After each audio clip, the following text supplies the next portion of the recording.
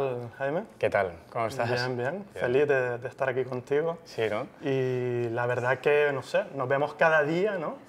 Durante muchos años, ¿no? Que, que compartimos espacio y, y, estudio, pero realmente eh, casi no tenemos tiempo de, de, hablar sobre diseño y, y arquitectura, ¿no? Exacto. Por, por, el día a día, ¿no? Entonces, bueno, creo que puede ser interesante, ¿no? Sí, sobre todo los últimos años, ¿no? Que antes comíamos juntos cada día Claro, desde hace unos años, desde que nos cambiamos de despacho. Sí, sí, total. Porque además, bueno, yo creo que tú, yo te conocí con, estabas tú solo, ¿no? En el despacho, uh -huh. realmente. Y, bueno, no sé, creo que desde hace cinco años o por ahí has crecido de una manera exponencial importante, ¿no? Creo que tienes ahora, pues, no sé, unas 10 personas en el equipo, ¿no? Y, y claro, sí, el día a día, pues, se, se ha complicado, ¿no? Eh, y no sé, mm, me interesa porque creo que tú eres un crack eh, a nivel en arquitectura, por supuesto, ¿no? pero creando espacios de trabajo y ambientes de trabajo súper positivos. ¿no? Creo que, que, la gente que curra contigo va, va a currar contenta, ¿no? y eso yo. Yo lo valoro un mogollón. ¿no? Y te quería preguntar cómo lo haces, ¿no? Eh, en qué te fijas ¿no? en, en tus colaboradores para, para trabajar con ellos y, y, y contratarlos y, y, cómo gestionas también el, el, día a día de un, de un despacho con, con 10 personas, ¿no? que, que, creo que no será muy fácil. ¿no? Sí, la, la, verdad es que el equipo es básico y le doy muchísima importancia, como sabes, a, a que haya buen ambiente. ¿no? O sea, el, porque la arquitectura es una pasión, ¿no? pero luego el día a día es muy duro y si no te rodeas de gente con la que estés a gusto, Uh, entonces siempre me, he fijado en... Eh, la verdad es que en el currículum nunca, eh, es en la persona, ¿no? cuando nos hemos reunido en una entrevista o lo que sea, y me fijo mucho en que, en que sonrían, que uh -huh. parece una tontería, pero que creen un buen ambiente y que sean buenas personas y, y leales. ¿no? Y la verdad es que lo, creo estarás de acuerdo porque los ves cada día, sí, lo, sí. lo, hemos conseguido y tenemos un equipazo eh, súper unido y, y que además nos lo pasamos muy bien a la vez que el día a día es muy duro uh -huh. y, y, se hace mucho más llevadero. ¿no? Esta misma semana teníamos un, un, follón con un par de asuntos y el, el, poder acabar con el equipo con una cerveza al lado del despacho o en el mercado y tal los viernes uh -huh. uh, es, es, una pasada. ¿no? Yo, yo, creo que eso de los viernes, ¿no? que terminamos de trabajar al a las dos íbamos al mercado Exacto. A, a, un poco desconectar de, de toda la semana y, y, y, relajarnos y creo que eso al equipo le va muy bien. ¿no? Sí, le hace sentido además que no solo es el equipo interno, sino que empiezan a venir pues, los colaboradores, ¿no? Iñaki el aparejador, Exacto. el ingeniero, tal, uh -huh. a veces incluso clientes, con lo uh -huh. cual es, uh, es como se cierra el círculo, ¿no? porque el, el que haya buen ambiente no solo internamente en el despacho, entre nosotros, sino que también con la constructora, con, con los clientes, etc. Uh -huh. y, y, crear como, como, una familia. ¿no? Uh -huh. es, ese, yo creo que es un, una satisfacción cuando acaba un cliente, un proyecto, por ejemplo, y, y te vas a comer con el cliente y, y se convierte en amigo. ¿no? Uh -huh. Total, qué guay. Y, y, tú las colaboraciones, tú llegaste al despacho hace más de 10 años, ¿no? Era mm, el, sí, yo creo que de 10. Cuando llegaste años, a Mallorca. Sí, sí. Llegué a Mallorca, recién llegado, y, y bueno, me, eh, conseguí un cliente que era un, un, grupo, un pequeño grupo hotelero y me puse a trabajar casi en exclusiva, ¿no? Y empecé trabajando en casa y, y bueno, de repente te conocí a ti, me trasladé uh -huh. ahí y, y sí, y, y, desde entonces pues, pues sí, trabajo contigo. Y claro, yo normalmente he trabajado solo, uh -huh. es verdad que en, en, en periodos puntuales eh, he tenido colaboradores más o menos fijos, pero normalmente eh, la estructura de un proyecto que yo creo para un proyecto la define el proyecto en sí, ¿no? Entonces, si un proyecto necesita pues, de un fotógrafo, un programador para una web o un, alguien que haga los copies, ¿no? Pues depende un poco de las dimensiones del proyecto y de las características, pues me nutro, ¿no? de un colaborador u otro, ¿no? y, eso está bien porque te permite ser muy flexible, ¿no? Y abarcar proyectos, pues, mm, de muchas, mm, muy diferentes, ¿no? Y elegir, en según qué caso, qué, colabora, qué colaborador va mejor, ¿no?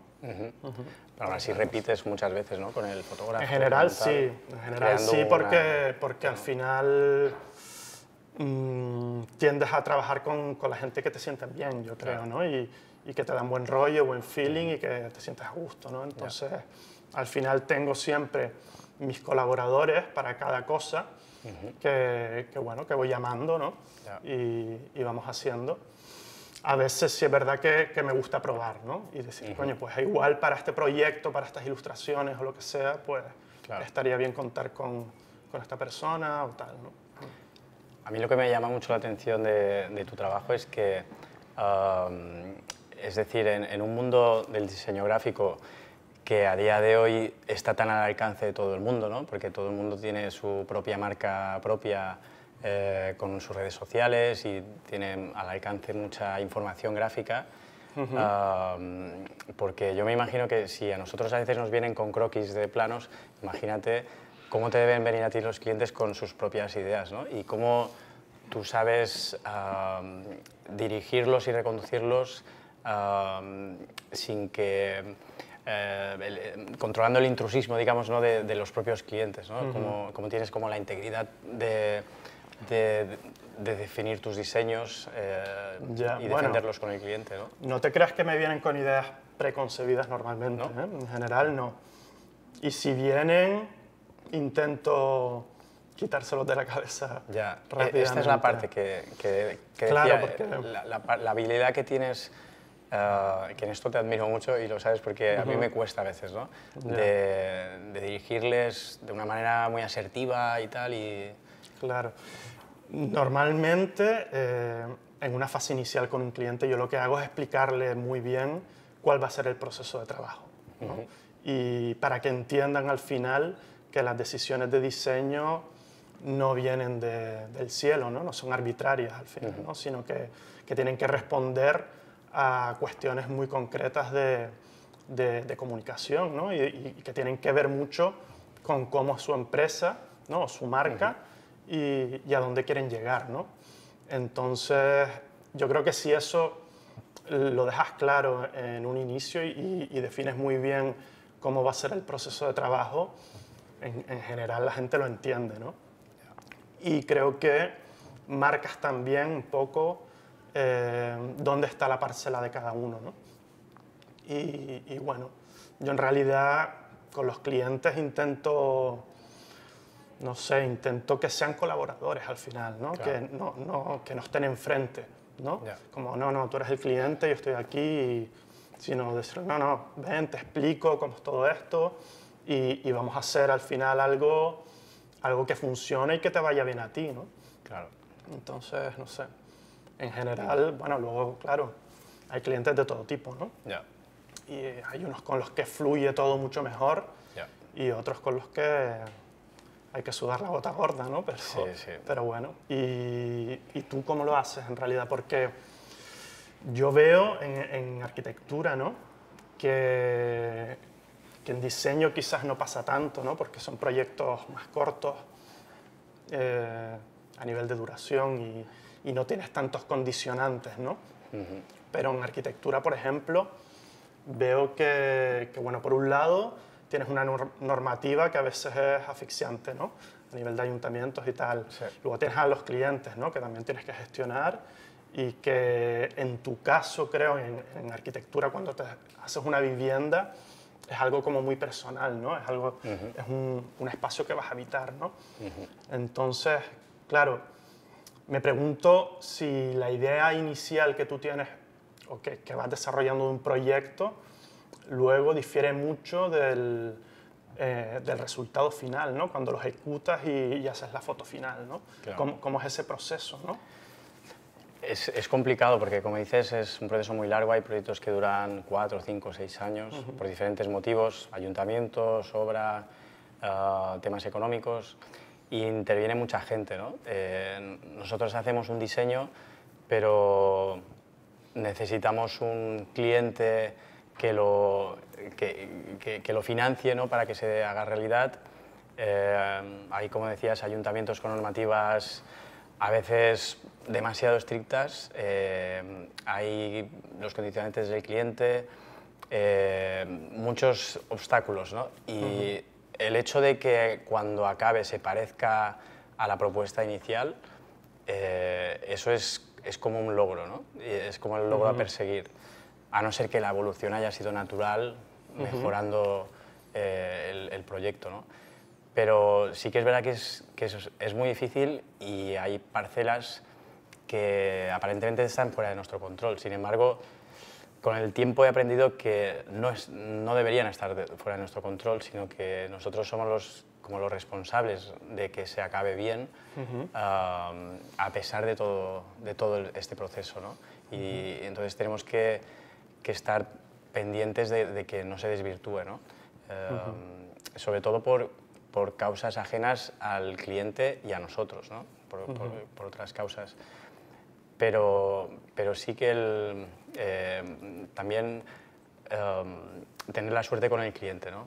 Yo creo que lo importante del cliente es que nos transmita muy bien lo que quiere, pero no es importante que él haga las propuestas concretas. ¿no? a veces pasa y, y la experiencia me dice se que... a diseñar, quieres decir. Exacto, que envía, empiezan a enviar croquis y tal. Eh, y la experiencia nos dice que, que estos proyectos son quizás no, no, los que acaban mejor, ¿no? Claro. Eh, pero el proyecto es del cliente, es para el cliente, con lo cual tiene que ser un equilibrio entre eh, conducir las necesidades del cliente pero em, darnos valor, em, nosotros somos los profesionales que podemos materializar sus ideas, ¿no?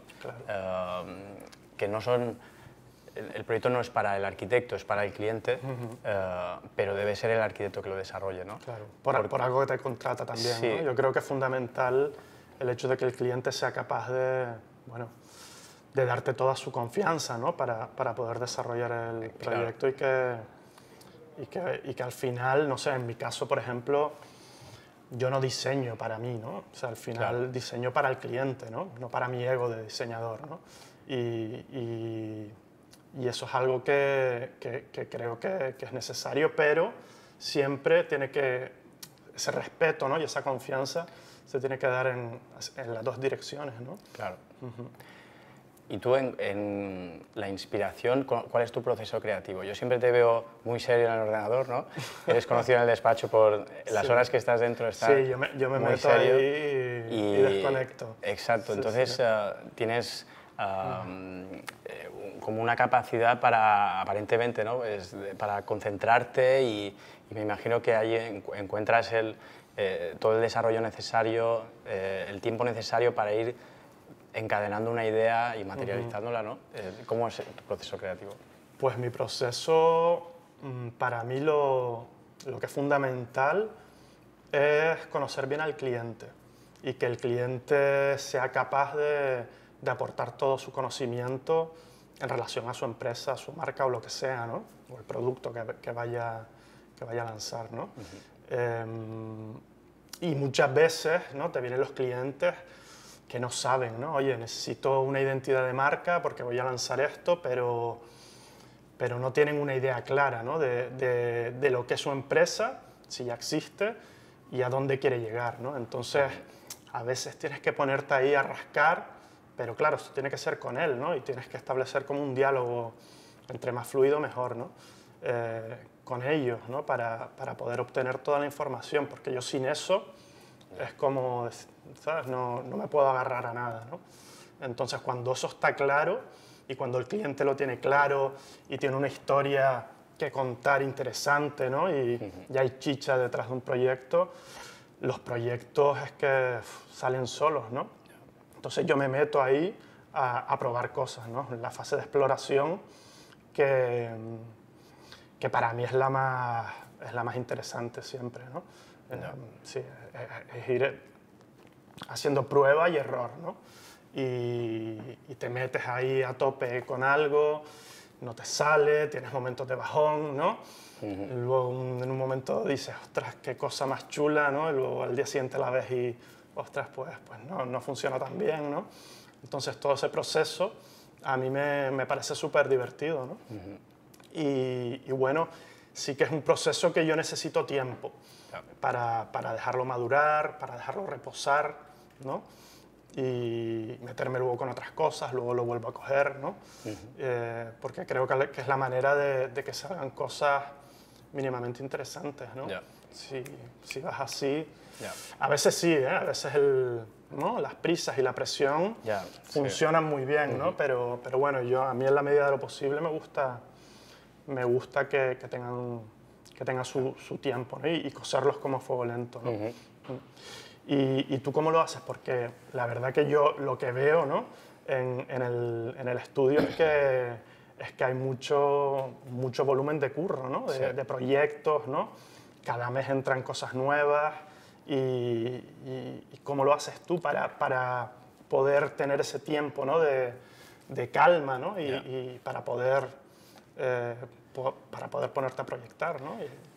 Pues eh, cada vez es, es como más complicado porque, como dices, hay mucho volumen de trabajo y y a pesar de que el equipo crece y tal, las fases iniciales yo soy muy celoso de ellas. ¿no? Eh, uh -huh. Arrancar un proyecto eh, siempre lo arranco yo y hasta que no tengo encajada una distribución y una volumetría no empiezo a delegar al, al equipo. ¿no? Uh -huh. Y para, para, conseguirlo se necesita, muy parecido a lo que has comentado, ¿no? Eh, tiempo de desarrollo y equivocarte, entender las condiciones del proyecto, del solar, lo que quiere el cliente, dónde está el sol, dónde están las vistas, etcétera, ir probando cosas, al final es como un puzzle. Uh -huh.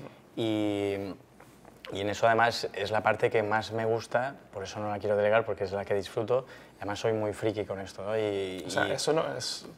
No, no, se lo encargas a nadie nunca, solo no, sí, lo planteas sí, siempre tú la, los, las propuestas. Las partes iniciales, uh -huh. luego, cuando ya está la, la distribución hecha la volumetría, pues sí que me ayudan a, a, hacer la presentación para el cliente porque yo ya me pongo con lo siguiente, ¿no? Pero, pero la gestión del día a día del despacho con las, eh, todo, todas las personas que hay en el despacho, colaboradores, reuniones, visitas de obra, etcétera, eh, no hay hueco para, para uh -huh. concentrarse. Entonces, tengo que hacer estrategias para encontrar los huecos. Eh, Últimamente estoy recurriendo mucho a, a, a las noches, sí. que es un, un, momento de calma y, y, que me gusta mucho porque es, eh, los proyectos que, que, están entrando me parecen muy interesantes ¿no? y entonces es como un reto, eh, cada proyecto nuevo es, es, eh, decir, ostras, esta es la oportunidad de hacer un proyectoazo y tal y me obsesiono y estoy como las dos o tres semanas más o menos que tardo en hacer una primera propuesta eh, eh, estoy inmerso en, en, este proyecto pensando todo. A veces voy conduciendo y se me ocurre una cosa y voy, voy corriendo y la pruebo y tal. Uh -huh. o sea, to, es, todas estas cosas todavía me pasan, ¿no?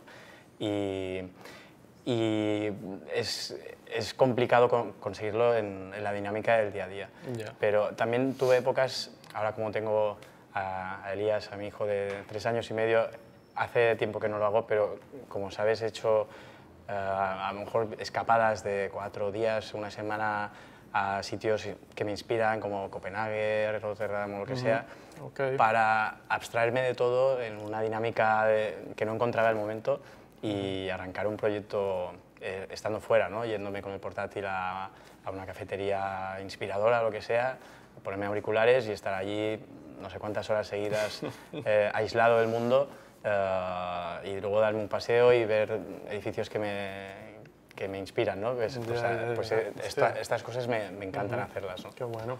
Y Enrique, en el estudio está uh, lleno de botellas de vino, ¿no? Que has diseñado las etiquetas. ¿Estás ahora diseñando alguna, para alguna bodega en particular? Bueno, en realidad las etiquetas que hay, algunas son de, de una bodega en Canarias, uh -huh. pero el resto son de una única bodega de aquí ah, vale. mallorquina, uh -huh. que se llama Sacabana de hecho, y que, y que es un proyecto que, que para mí ha sido muy interesante y, y, muy, bueno, y le tengo mucho cariño realmente, porque es una familia mallorquina de toda la vida, ¿no? ellos son hoteleros realmente, pero tenían una finca que no sabían muy bien qué hacer con ella, ¿no? y con un montón de, de, viñas ¿no? y tal. Y, y, bueno, dijeron, pues quizás es interesante, les gustaba mucho el vino y tal, y, y, quisieron ¿no? embarcarse en esa aventura de, de hacer un buen vino mallorquín. ¿no? Entonces vinieron al despacho un poco a ver, ¿no?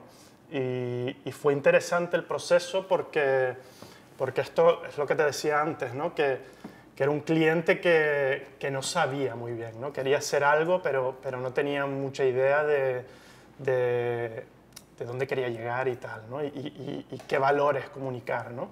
Entonces fue un proyecto en el que, en el que tuve que rascar mucho, ¿no? Para, para construir una, una, narrativa al final que me ayudase a mí a, a definir ¿no? una, una, identidad visual, en este caso, ¿no? que era muy vinculado con, con, con la tierra de, de Mallorca y, y, el amor que tienen ellos por el, por el mundo rural y por Mallorca. Y, y, bueno, y a partir de ahí generamos como una línea de, de cuatro vinos ¿no? con diferentes variedades y luego ellos la verdad que se lo han currado mogollón, han traído, han traído mm, gente de fuera ¿no? para, para que les ayude a elaborar el vino y, demás. Y, y, están haciendo un producto súper interesante. ¿no? y, y, cada año, esto fue creo que en el 2018, cada año han ido sacando como una nueva línea, ¿no? Eh, con una variedad diferente y, y es muy interesante, súper divertido al final, ¿no? Eh, hacer mm, etiquetas de vino y, y, packaging, a mí me encanta. ¿no? Y, al principio como que costó un poquito, ¿no? Pero, pero ahora creo que tenemos una relación mucho más fluida, a ellos los veo mucho más abiertos también a, aceptar cosas un poquito más arriesgadas también, ¿no? Al principio era como más, mmm, no se atrevían tanto, ¿no? Y, y, querían ser como mucho más conservadores y ahora empezamos a hacer un poquito cosas un poco más arriesgadas, ¿no? que, que, bueno, súper interesante. Y bueno, y tú, no sé, estás muy especializado en, en vivienda de lujo, ¿no? Unifamiliar, ¿no? Aquí en Mallorca. Que, y no sé cómo, cómo es el, el proceso con, con, este tipo de clientes, ¿no? Eh, y, y, el proceso creativo. ¿Tienes algún, algún proyecto que, que digas, coño, este proyecto ha salido ha salido chulo, ¿no? Pues sí, la verdad es que principalmente son viviendas unifamiliares. También tenemos varios plurifamiliares ahora, eh, acabados, en marcha y en, en, fase de proyecto, pero unifamiliares es la mayor parte, ¿no? Uh -huh. eh, la mayor parte para extranjeros y yo diferenciaría las que son para promotores que la hacen para, para hacer una vivienda de lujo para luego la venta eh, y para los que son, las que son para el destinatario final, para la familia. ¿no?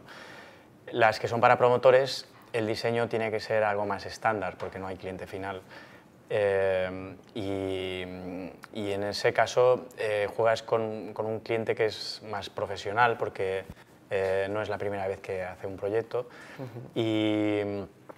y, y, y, quizás es, es donde, por una parte, tienes más libertad, por otra parte, estás muy condicionado porque eh, no puedes arriesgar mucho en el, en el diseño porque... Eh, claro, se tiene que vender. Exacto, sí. Uh -huh. Sin embargo, cuando tienes la oportunidad de, de hablar con el cliente final, con la familia, eh, puedes conseguir cosas más exclusivas. ¿no? Uh -huh. y, y, a mí me encanta cuando los proyectos tienen algo que que, que, te saque una sonrisa, ¿no? O sea, algo, uh -huh. algo un detalle especial. Y, y por ejemplo, eh, ahora me viene a la cabeza, eh, hemos hecho un proyecto que está en primera línea de un campo de golf, eh, en una parcela de, de 4.000 metros. Eh, se desarrolla prácticamente en planta baja todo, pero tiene la habitación máster en la planta piso, ¿no? Y con lo cual tenía un acceso a la, a la cubierta de, del resto de la vivienda que, que planteamos hacer la jardinada. ¿no? Y desde esa habitación se ve el, el campo de golf. ¿no? Entonces decidimos hacer que la cubierta jardinada, fuera un mini golf. ¿no? Entonces eh, puedes salir de la habitación y jugar a mini golf viendo el resto del campo de golf. Qué bueno. O, por ejemplo, tuvimos la oportunidad de hacer eh, una vivienda para un jugador de básquet. Eh, tú sabes que yo era un friki del básquet toda mi vida ¿no? y disfruté mucho con ello. Y esta vivienda tenía, por la topografía, la diferencia de nivel entre la calle y la planta baja, salían dos plantas sótano que unificamos para hacer una, una pista de básquet. ¿no? Eh, y entonces, eh, esta, esta, vivienda planteábamos una, una, sala de trofeos para, para, el jugador, que normalmente las salas de trofeos están ocultas en, una habitación que nadie ve. Eh, y en este caso, al estar conectada con un muro de la piscina, decidimos hacer una apertura en la piscina para que buceando por la piscina pudieras ver la, sala de trofeos. Y, bueno, pues son este tipo de cosas que, que, nos gusta hacer um, para darle un, toque al, al proyecto. Ok, a mí lo que me llama la atención de, de, tu profesión ¿no? y que quiero, creo que difiere bastante del, del diseño gráfico es que al final eh, tus proyectos em, tienen una incidencia brutal en el territorio ¿no? y, van a estar ahí ¿no? durante muchísimo tiempo. A mí me daría un poco de vértigo, ¿no? No sé cómo afrontas tú em, esa parte, ¿no? Ya. Sí, es una responsabilidad porque es verdad que, que, que, esto va a pertenecer al territorio, ¿no? Em, en especial los usos que son más públicos, ¿no? porque al final nosotros hacemos principalmente viviendas que, que puedes ver como mucho la fachada. ¿no? Eh, hay otros usos que, pues yo qué sé, un restaurante, una estación de tren o, o tal, pues que, que, son muy vividos por, por, el ciudadano, que esa responsabilidad todavía es mayor. ¿no? Pero sí, yo creo que eh, es importante ser un poco atemporal, ¿no? porque es, eh, en arquitectura es que de hecho ya desde que yo inicio un proyecto hasta que se acaba ya pueden pasar claro. cuatro, cinco, seis años, ¿no? con lo cual si no somos atemporales eh, lo, tenemos mal porque los propios retrasos de ayuntamientos y tal hace que, que, tengamos que ser atemporales. ¿no? Pero sobre todo por lo que dices, igual un, eh, una vivienda va a pertenecer allí decenas de años y, es muy importante dialogar mucho con el entorno y, entender mucho las, características del proyecto y adaptarse eh, en cuanto a materiales y formas y, usos. ¿no? Ok. ¿Y, consideras que los clientes que vienen a a llamarte ¿no? a la puerta, em, vienen porque tú tienes un estilo muy concreto o, o porque... Al principio no, porque no había nada que enseñar, pero con el tiempo cada vez pasa más esto. Sí, te piden cosas que ya has hecho a lo mejor. Sí, vienen... con lo cual es, es, una, es una ventaja, ¿no? porque ya ya confían en nosotros desde el inicio ¿no? y han visto proyectos y, nuestros propios proyectos son las referencias que nos indica y, y esto pues es, además es una satisfacción, ¿no? ya, ya, em, empieza una relación en la que el cliente em, ya tiene un respeto por el trabajo que hacemos ¿no? Em, y además el, el pues, el intentar dar a conocer nuestro trabajo también nos ha permitido, pues ahora como sabes estamos haciendo un proyecto en Berlín, eh, que pues el cliente vino a través de redes sociales, ¿no? Entonces ya no es que busque un arquitecto local porque estás en la zona donde él está, ¿no? sino que...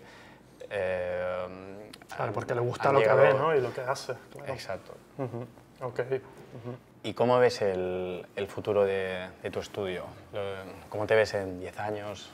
En 10 años, buena pregunta. Pues, a ver, a mí me gustaría, eh, por supuesto, seguir trabajando de lo mismo, ¿no? Y, y quizás eh, abarcar más proyectos a nivel internacional. Creo que siempre trabajando para proyectos locales ¿no? y nacionales, pero sí que igual sería interesante eh, trabajar para, para, clientes de fuera. ¿no? Creo que, que eso sería súper enriquecedor. ¿no? Y igual pues incluir algún, algún perfil ¿no? nuevo al, al, despacho, creo que, que, sería interesante. Pero, pero bueno, para mí al final se trata de, de hacer proyectos que, que tengan chicha ¿no? y, que, y que, sean, que sean interesantes por muy grandes o pequeños que sean. ¿no? Creo que si, si, si consigo pues, enganchar un proyecto con otro, pues genial. Sí, sí. ¿Y tú cómo lo ves? ¿Vas a seguir creciendo exponencialmente como, como en los últimos años? O? Uh, yo creo que el, eh, el objetivo es uh, poder llegar a un punto en el que podamos eh, seguir eligiendo proyectos, eh, hacer los proyectos que, que, más nos motiven, pero sobre todo es disfrutar. ¿no? Eh, uh -huh. Hay veces que en el día a día la dinámica, los problemas que van surgiendo en el proceso eh, hace que sea muy estresante. ¿no?